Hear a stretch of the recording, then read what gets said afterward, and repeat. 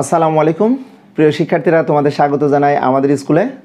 আজকে আমি তোমাদের সামনে এসএসসি দু হাজার একুশ এবং দু হাজার বাইশ সালের পরীক্ষার্থীদের জন্য সাধারণ গণিতের ত্রিকোণমিতির নাইন পয়েন্ট ওয়ান এবং নাইন পয়েন্ট টু এর এই দুটি অনুশীলনী থেকে আমি একটি গুরুত্বপূর্ণ সৃজনশীল প্রশ্ন তোমাদের সামনে আলোচনা করার চেষ্টা করব। অবশ্যই তোমরা বুঝতে পারছ কেন গুরুত্বপূর্ণ আমি সৃজনশীল বলছি।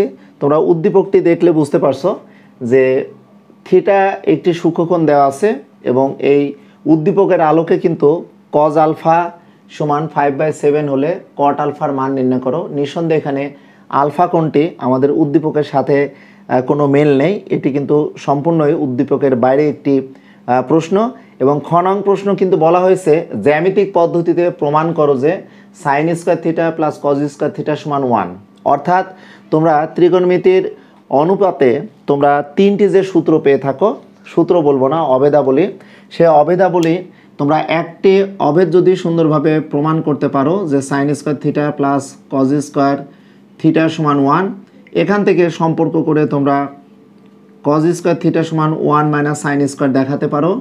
এটিও জ্যামিতিক প্রমাণ আসতে পারে।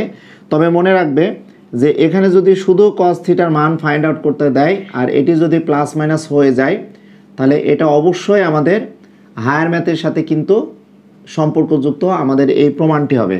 কারণ আমরা সাধারণ গণিতে যে ত্রিকোণমিতি পেয়ে থাকি, এগুলো কিন্তু আমরা ফার্স্ট কোয়াড্রান্টে অর্থাৎ আমরা সূক্ষ্ম কোণের ত্রিকোণমিতিক অনুপাত সাধারণ গণিতে প্রথম চতুর্ভাগে আমাদের যত ধরনের প্রমাণের ব্যাপারগুলো থাকে, ছয়টি অনুপাতের, এগুলো কিন্তু আমরা অঙ্কন করে থাকি।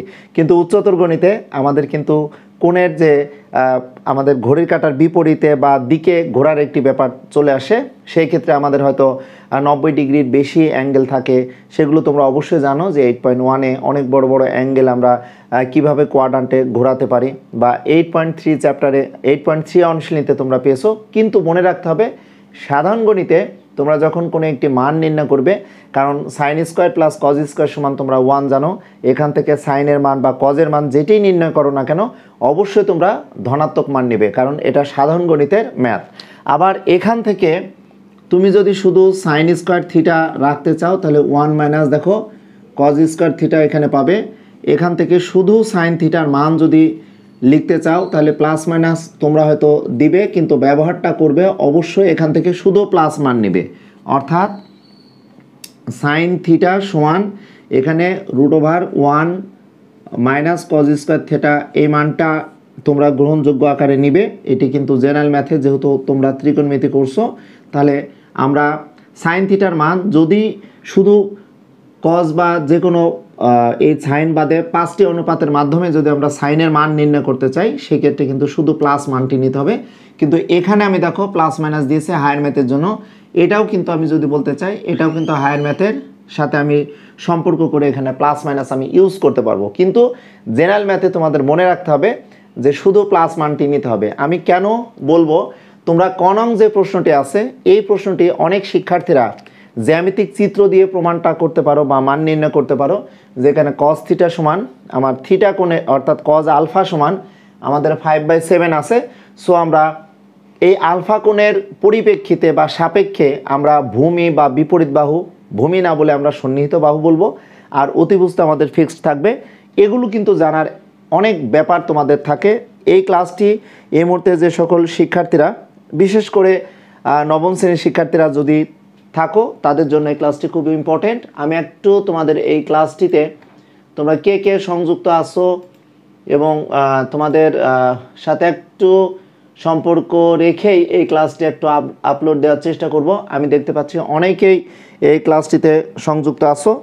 তো প্রথম যে আমাদের গাণিতিক প্রবলেমটি সমাধান করব, সেই ক্ষেত্রে আমাদের সাইন স্কোয়ার বা কজ স্কোয়ার থেকে আমরা শুধু সাইন বা শুধু কজ যদি মান নির্ণয় করি, শুধুমাত্র আমরা প্লাস মানটি কিন্তু ইউজ করব। তো এই ক্ষেত্রে আমি একটু সময় নিচ্ছি যে তোমরা কে কে এই মুহূর্তে ক্লাসটিতে সংযুক্ত আছো তাদের সাথে একটু কথা বলে বা এই ক্লাসটি একটু শেয়ার করে আমি একটু সময় নিতে চাচ্ছি, আমাকে একটু সময় দিলে আমি খুব উপকৃত হব। আচ্ছা যাই হোক। তো লক্ষ্য করো, এখানে যেমন আমরা sine square plus cos square সমান ওয়ান পাচ্ছি, এটির কিন্তু জ্যামিতিক ব্যাখ্যা আমাদের জানতে হবে। কারণ তোমরা যারা দু একুশ বা দু হাজার বাইশ সালে এসএসসি পরীক্ষা দিবে, তাদের মনে রাখতে হবে যে নবম অধ্যায় শুধুমাত্র দু হাজার একুশ সালের পরীক্ষার্থীদের কথা যদি বলি, সাধারণ গণিতে শুধু নবম অধ্যায়ের ত্রিকোণমিতি থাকবে। এখান থেকে কিন্তু তোমরা জানো তিনটি সৃজনশীল প্রশ্ন থাকবে নাইন পয়েন্ট ওয়ান এবং নাইন পয়েন্ট টু সো এখানে যে এই সূত্রগুলো আছে, এই সূত্রগুলো খুবই ভালোভাবে জানতে হবে। তাছাড়াও কিন্তু দেখো আমি বোর্ডের সাইডে লিখে দিয়েছি, শূন্য degree ninety degree thirty degree forty five degree sixty degree overall পুরো কোণের ত্রিকোণমিতিক যে অনুপাত আছে নাইন পয়েন্ট টু অনুশীলনে, এই পুরো কোণের ত্রিকোণমিতিক অনুপাতগুলো প্রমাণ তোমরা করবে বা অবশ্যই অনুরোধ করব যে তোমরা এগুলো প্র্যাকটিস করবে। তাছাড়াও নাইন পয়েন্ট টু অনুশীলনের লাস্টে তিরিশ, একত্রিশ, বত্রিশ, যে তিনটি প্রশ্ন আছে, এই তিনটি প্রশ্ন সমাধান কিন্তু তোমরা সুন্দরভাবে করে যাবে। কারণ বোর্ড কর্তৃক নির্ধারিত যে বই আছে, এই বইয়ের প্রতিটি কাজ, উদাহরণ এবং অনুশীলনের ম্যাথ আমার রিকোয়েস্ট থাকবে, তোমরা সুন্দরভাবে খাতায় কমপ্লিট করে রাখবে। কারণ দু হাজার একুশ সালে যারা এসএসসি পরীক্ষা দিবে, তাদের জন্য তো এখান থেকে তিনটি সৃজনশীল প্রশ্ন থাকবে। তো তিনটা থেকে যদি এরকম কোনো জ্যামিতিক প্রমাণ দিয়ে দেয়, জ্যামিতিক কোনো ব্যাখ্যা দিয়ে দেয়, তোমরা কীভাবে প্রমাণ করবা? যার কারণে এই ক্লাসটি মূলত আমি চেষ্টা করব যে তোমাদের রিকোয়ারমেন্ট হোক বা আমার দৃষ্টিকোণ থেকে যদি মনে হয় যে কোনো প্রশ্ন যদি জটিল হয়, তাহলে আমরা কীভাবে এগুলো সমাধান দেওয়ার চেষ্টা করব। তো লক্ষ্য করো, এই অনুপাতের আলোচনা করার কারণ আমার জ্যামিতিক পদ্ধতিতে sine square plus cos square যদি আমরা জ্যামিতিক পদ্ধতিতে প্রমাণ করতে চাই, এটা আমরা একটি চিত্র দিয়ে আমরা প্রমাণ করতে পারব। অথবা তোমার একটি আরও দুইটি অভেদ দেখো সেক স্কোয়ার থিটা সমান তোমরা জানো ওয়ান প্লাস দেখো টেন স্কোয়ার থিটা এখান থেকে শুধুমাত্র যদি সেক থিটা রাখতে চাও, তাহলে প্লাস মাইনাস এখানে ইউজ করতে পারো উচ্চতর গণিতের জন্য। বাট শুধুমাত্র তোমরা যখন মান নির্ণয় করবে, এখানে শুধু প্লাস মানটি তোমরা ইউজ করবে, এখানে প্লাস মান তোমরা ব্যবহার করতে পারবে। বা এখান থেকে আরেকটি সম্পর্ক, আরও দুইটি সম্পর্ক আছে sec square theta minus one সমান দেখো পক্ষান্তর করলে ওয়ান ডান ডান পক্ষেরটা বামে চলে আসলে মাইনাস হবে। এখান থেকে আমরা কি লিখতে পারব? টেন স্কোয়ার থিটা লিখতে পারব বা এখান থেকে আমরা যে বিষয়টি লিখতে পারব শুধু টেন সমান প্লাস মাইনাস দেখো whole root over sec square theta minus one এটাও কিন্তু আমাদের এই সেক স্কোয়ার সমান ওয়ান প্লাস টেন স্কোয়ারের যে সম্পর্ক সম্পর্ক থেকে আমরা প্লাস মাইনাস ইউজ করব উচ্চতর গণিতের জন্য। কিন্তু শুধুমাত্র আমরা জেনারেল ম্যাথের জন্য আমরা প্লাস ইউজ করব আর এটি আমরা হায়ার ম্যাথের জন্য ইউজ করব। এখান থেকেও আমরা এটা হায়ার ম্যাথের জন্য টেন থিটার মান প্লাস মাইনাস নেব যদি সেকেন্ড মান থাকে। আর শুধুমাত্র এখান থেকে আমরা প্লাস মান যদি নিতে চাই, তাহলে আমরা জেনারেল ম্যাথের ব্যাপারটি এখানে চলে আসবে। তোমরা একটু মনে রাখবে। লক্ষ্য করো, এটি একটি অভেদ। এই অভেদটি দেখো জ্যামিতিক পদ্ধতিতে প্রমাণ করতে বলা হয়েছে। এটাও কিন্তু দেখো একটি অভেদ। এটাও যদি জ্যামিতিক পদ্ধতিতে প্রমাণ করতে দেয়, সেটা অবশ্যই একটি চিত্রের মাধ্যমে তোমাদের জানতে হবে। এখন আসো, আরেকটি অভেদ আছে। সেই অভেদটি তোমাদের সামনে যদি একটু লিখে দিতে চাই, তিন নম্বর অভেদ। অবশ্যই তোমরা জানো যে কসেক স্কোয়ার থিটা সমান one plus cot square theta এ এখান থেকে শুধু কসেক থিটার মান যদি ফাইন্ড আউট করতে চাও তাহলে one plus cot square theta পাবা। এখানে শুধু প্লাস মাইনাস নিলে হায়ার ম্যাথের ব্যাপার চলে আসবে। আর এখান থেকে শুধু যদি তোমরা কসেক থিটা নাও প্লাস মানটি নাও, এটা কিন্তু জেনারেল ম্যাথের প্রমাণ বা মান নির্ণয়ের ক্ষেত্রে আমরা ইউজ করতে পারব। বা এখান থেকে আমরা এখানে আর একটি সূত্র ছিল, সেটা আমি লিখছি। ওটা, এটা যেহেতু লিখতে যে ওটি মনে পড়ে গেল। তো লক্ষ্য করো, এখান থেকে আমরা লিখতে পারি যে sec square theta minus one সমান দেখো, আমরা এই ওয়ানটা বাম পক্ষে নিয়ে আসলে আমরা এটাকে লিখতে পারব কট স্কোয়ার থিটা বা শুধুমাত্র আমি যদি কট থিটা রাখি জেনারেল ম্যাথের ক্ষেত্রে আমি লিখতে পারব দেখো cosec square theta whole root over okay তো আমরা জেনারেল ম্যাথের ব্যাপারটি এখানে তুলে ধরার চেষ্টা করছি, আর এখান থেকে আরেকটি সম্পর্ক আমরা ওয়ানের সম্পর্ক পাবো cosec square theta minus cot square theta সমান দেখো ওয়ান বা এখানে আমরা লিখতে পারব দেখো sec square theta minus tan square theta সমান দেখো ওয়ান বা ওয়ানের আরেকটি সূত্র তোমরা জানো, সূত্র বলব না, এটি অভেদ বলব sine square plus cos square theta সমান আমরা এখানে ওয়ান বলতে পারব। আমি এগুলো কেন আলোচনা করছি? এই মুহূর্তে যে সকল শিক্ষার্থীরা তোমরা এই ক্লাসটিতে সংযুক্ত আসো অর্থাৎ নবম শ্রেণির শিক্ষার্থীদের কথাও যদি বলি তোমাদের এই বেসিক বিষয়গুলো কিন্তু আগে সুন্দরভাবে জেনে নিতে হবে এবং শিখে নিতে হবে। আমরা পরীক্ষার খাতা মূল্যায়ন করার সময় দেখে থাকি যে অনেক শিক্ষার্থীরা প্লাস মাইনাস ইউজ করো। দুইটি মান চলে আসে, সেই ক্ষেত্রে সাধারণ গণিতের জন্য অবশ্যই প্লাস মানটি আমরা গ্রহণযোগ্য আকারে নিব। এই বিষয়গুলো কিন্তু তোমাদের মনে রাখতে হবে এবং আমার অভিজ্ঞতার আলোকে খাতা মূল্যায়নের ক্ষেত্রে এই ধরনের প্রবলেমগুলো আমি ফেস করে থাকি। এগুলো কেন আলোচনা করছি? আমি প্রথম যে গাণিতিক সমস্যাটি আছে, গাণিতিক সমস্যাটির সমাধান করার ক্ষেত্রে আমি জ্যামিতিক চিত্র দিয়ে আমি গাণিতিক সমস্যাটির সমাধান করতে পারব। কারণ এখানে যে মানটি আছে, এই মানটি যদি উচ্চতর গণিতের কথা চিন্তা করে, চতুর্থ চতুর্ভাগে নিতে পারব বা এটি যদি জেনারেল ম্যাথের কথা বলে, এটা ফার্স্ট কোয়াড্রান্টে নিয়ে আমি তোমাদের আলোচনা করতে পারব বা কজ আলফার মান ফাইভ বাই সেভেন আছে। এটা আর্টসের স্টুডেন্ট বা কমার্সের স্টুডেন্টরা যদি থাকো, কোনো জ্যামিতিক পদ্ধতি না দিয়ে সরাসরি কীভাবে তোমরা অভেদাবলী ইউজ করে তোমরা ম্যাথগুলো কমপ্লিট করবা, সেটাও আমি আলোচনা করব। তো লক্ষ্য করো, প্রথম গাণিতিক সমস্যাটির সমাধান আমি তিনটি পদ্ধতিতে দেখানোর চেষ্টা করব। তোমরা অনেকেই চিন্তা করবে যে, স্যার, প্রথম ম্যাথটির সমাধান তো আমরা আমাদের ইচ্ছা মতো যে কোনো পদ্ধতিতে করতে পারি। অবশ্যই তোমরা করতে পারবা। তো লক্ষ্য করো কনং প্রশ্নের সমাধান আমি সরাসরি যদি দেখাতে চাই, তাহলে কীভাবে লিখতে পারব একটু দেখে নাও। অনেক শিক্ষার্থীরা তোমরা এই মুহূর্তে সংযুক্ত আছো, আমি তোমাদের সবার নাম একটু মেনশন করি, কারণ তোমরা অনেক কষ্ট করে বা এই ক্লাসটিতে সংযুক্ত থাকো, তোমরা অনেকে আসো এই মুহূর্তে দেখতে পাচ্ছি ইলমা সংযুক্ত হয়েছ, মিস্টার নিউটন, আসো টুইংস কার্লো, জানি না তোমরা কি নাম উল্লেখ করে এখানে তোমরা ক্লাসগুলোর সাথে সংযুক্ত আছো। তাছাড়াও আমি দেখতে পাচ্ছি যে অনেক শিক্ষার্থীরা এই ক্লাসটিতে সংযুক্ত হয়ে ক্লাসটি উপভোগ করার চেষ্টা করছ। আমি মূলত চেষ্টা করব যে এই গাণিতিক সমস্যাটির সমাধান আমি ক নং প্রশ্নটির সমাধান তিনটি পদ্ধতিতে কীভাবে আমি দিতে পারি সেটি আমি উল্লেখ করব। তো লক্ষ্য করো কজ আলফা সমান ফাইভ বাই সেভেন দেখো। তো ফাইভ বাই সেভেন আমাদের কট আলফার মান নির্ণয় করতে হবে। তাহলে আমরা জানি যে- কট আলফা ইকস টু আমরা জানি কজ আলফা বাই দেখো সাইন আলফা তো আমাদের কিন্তু কজ আলফার মান দেওয়া আছে সাইন আলফার মান দেওয়া নেই। তাহলে সাইন আলফার মান যদি আমরা এখান থেকে নির্ণয় করতে চাই, তাহলে কীভাবে নির্ণয় করতে পারব দেখো? আমরা যদি এটি বর্গ করি, তাহলে কী হবে বলো? কজ স্কোয়ার আলফা সমান টোয়েন্টি ফাইভ বাই বর্গ করলে ফর্টি নাইন এখানে আমরা লিখে নিতে পারব বর্গ করে। ছোট্ট একটি ম্যাথ আমি কয়েকটা নিয়মে তোমাদের সামনে সলভ করে দেওয়ার চেষ্টা করব। তাহলে কজ স্কোয়ার সমান কি বলো তো আমরা জানি one minus sine square alpha তাহলে twenty five by forty nine আমাদের ওখানে কি? কট আলফা সমান কি? কজ আলফা বা সাইন আলফা দরকার। তাহলে কজ আলফা দেওয়া আছে। সাইন আলফা যদি এইভাবে আমরা ফাইন্ড আউট করতে চাই তাহলে সাইনকে আমরা ডান পক্ষে যদি নিয়ে যাই, বাম পক্ষে মাইনাস ওয়ান আছে, আর এটা পক্ষান্তর করলে দেখো minus twenty five by nine হবে। এখানে আমরা পাচ্ছি দেখো সাইন স্কোয়ার আলফা এই সাইডে আমি একটু লিখে নিই।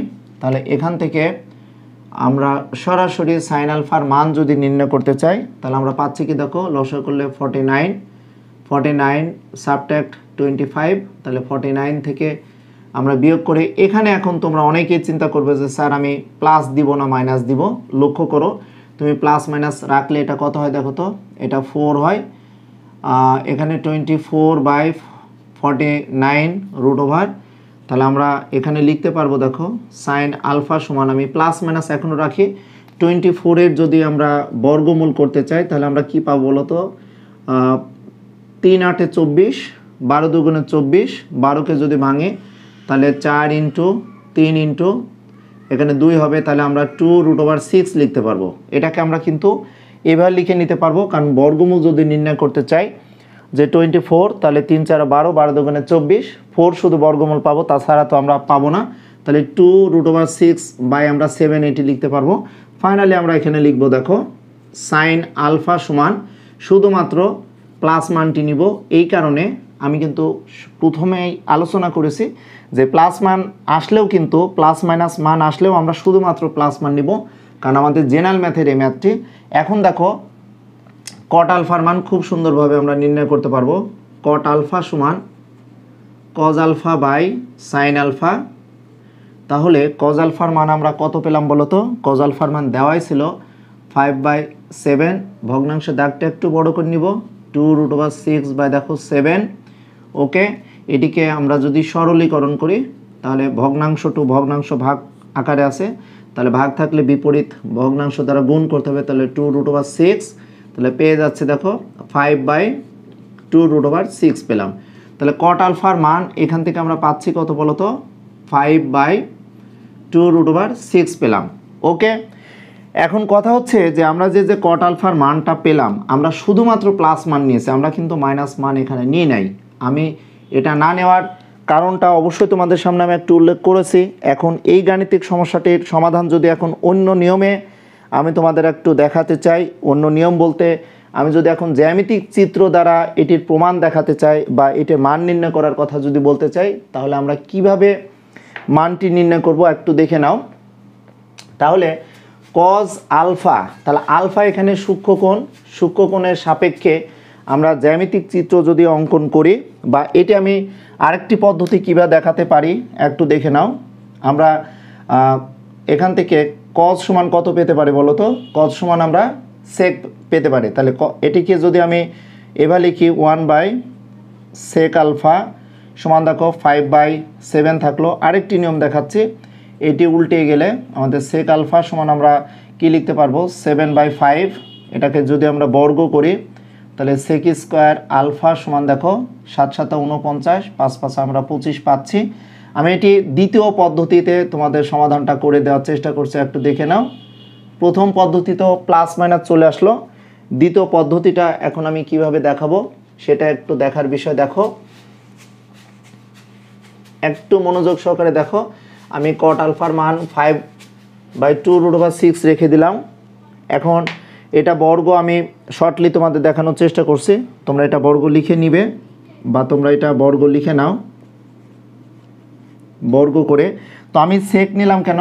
এই সেক থেকে কি বলতে পারি বলো তো? সেক সমান আমরা জানি one plus tan square alpha তাহলে আমরা কত পাচ্ছি দেখো?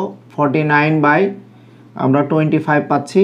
এটাকে যদি আমি শুধু টেন স্কোয়ার বামে রাখতে চাই, সেক্ষেত্রে forty nine by twenty five পক্ষান্তর করলে আমরা ডান পক্ষে প্লাস বাম পক্ষের প্লাস ডানে গেলে মাইনাস হলো, তাহলে এখান থেকে আমরা কি লিখতে পারব?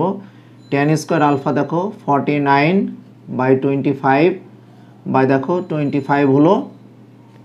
এখান থেকে টেন স্কোয়ার আলফা সমান আমরা লিখতে পারব দেখো twenty four by twenty five okay তাহলে আমরা টেনকে ভেঙে ওয়ান বাই দেখো আমরা কট স্কোয়ার আলফা লিখতে পারব।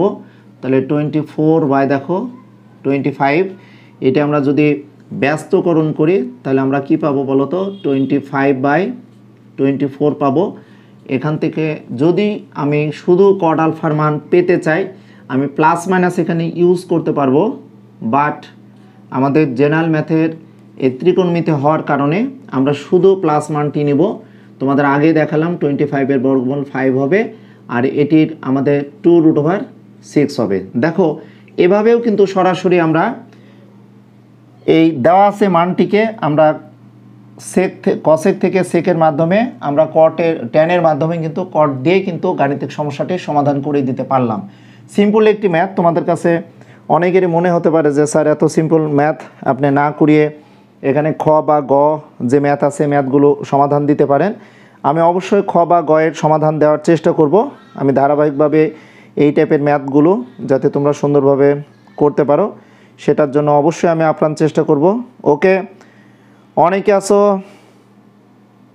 অনেক শিক্ষার্থীরা এই মুহূর্তে এই ক্লাসটিতে সংযুক্ত হয়ে ক্লাসটি করছ।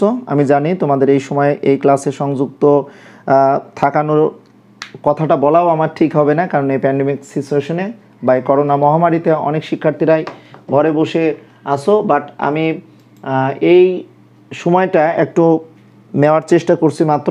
তো লক্ষ্য করো, এখন এই গাণিতিক সমস্যাটির সমাধান আমি যদি এখন জ্যামিতিক চিত্র দ্বারা দেখাতে চাই, তাহলে আমি কীভাবে দেখাবো?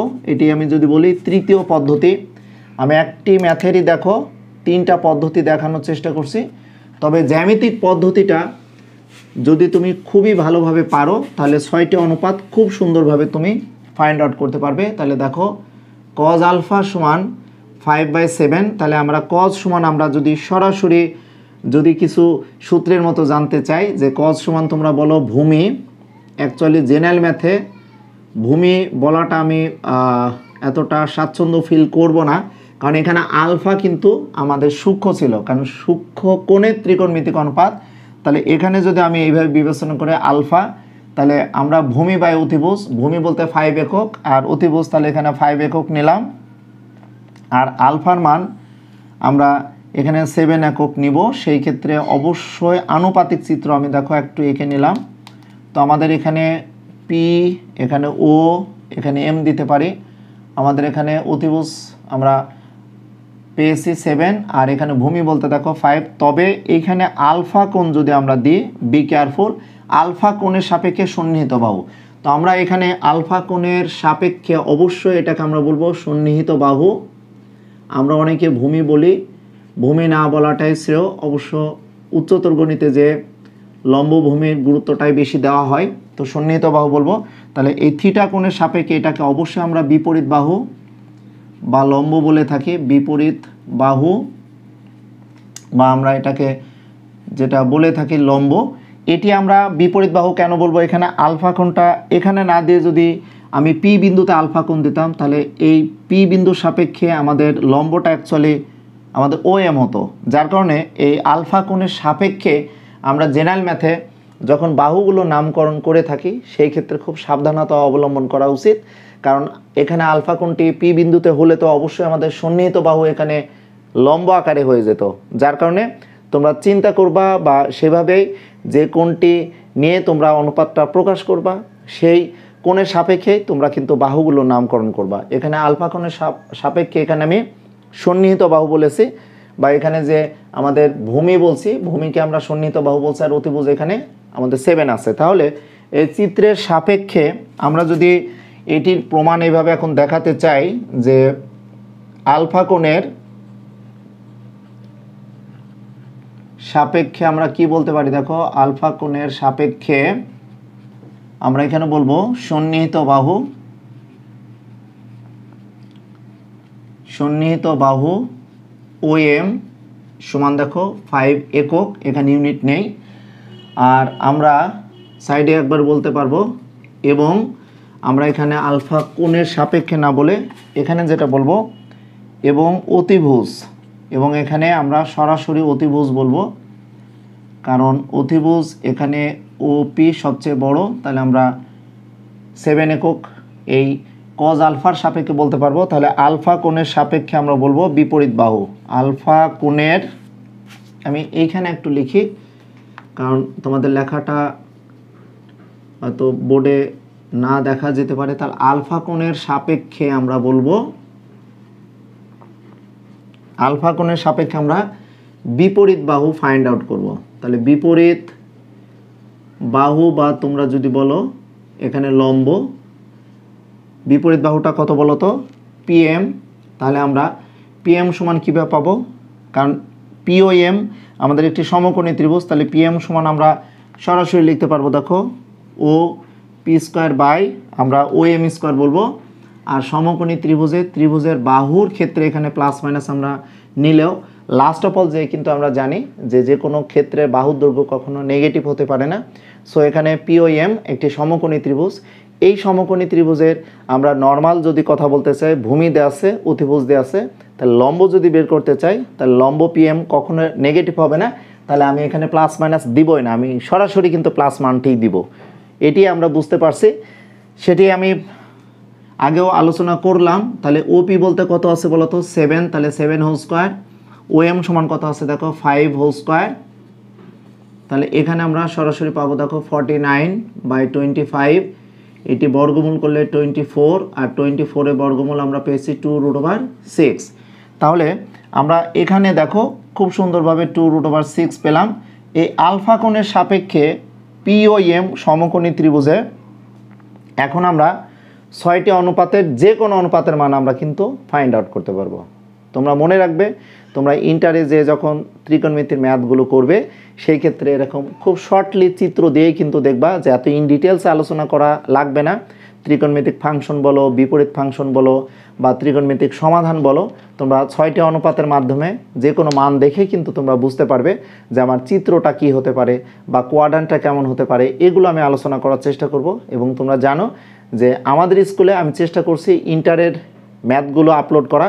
তাছাড়া এই টাইপের ম্যাথগুলো ইন ডিটেলস আলোচনা করার দ্বিতীয় পদ্ধতি, তৃতীয় পদ্ধতি, অনেকগুলো পদ্ধতি তোমাদের সামনে ইন ডিটেলস আলোচনা করছি। তোমাদের অনেকে মনে হতে পারে যে, স্যার সিম্পল একটু ম্যাথ নিয়ে এত সময় নিচ্ছেন।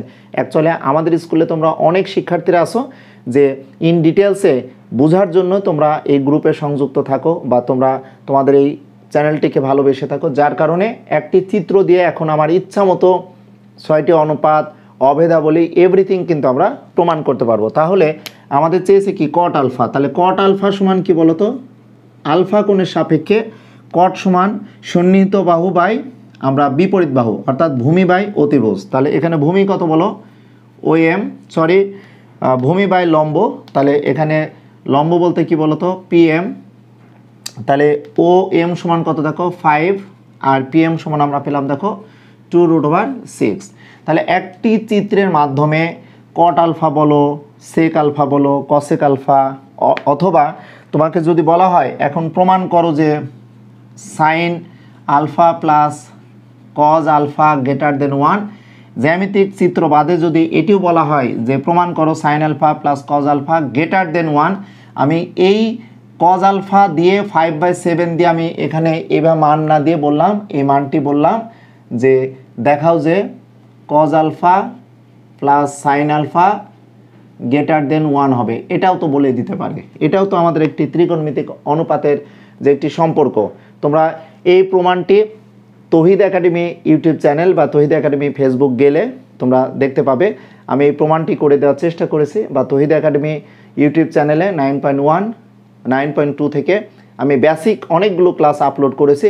তোমরা অনেকেই জানো যে আমাদের স্কুল এই চ্যানেল ছাড়াও আমার একটি পার্সোনাল চ্যানেল তহিদ একাডেমি আছে। ওখানে প্রতিনিয়তই আমি তহিদ একাডেমি ফেসবুক পেজ বা গ্রুপে তোমরা ক্লাসগুলো পাচ্ছ। তাছাড়া ইউটিউব চ্যানেলটি যদি সাবস্ক্রাইব করা থাকে, ওখানে অটোমেটিকলি অনেক ক্লাস পাবে। এই টাইপের ক্লাসগুলোই আমি দেওয়ার চেষ্টা করছি।